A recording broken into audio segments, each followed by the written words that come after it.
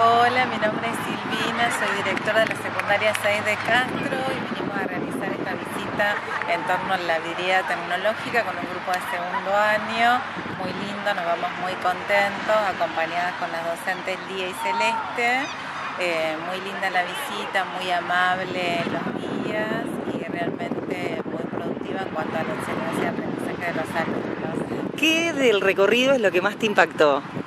Lo que más me gustó, bueno, que ya lo, había visto con anterioridad, es em, la estación experimental.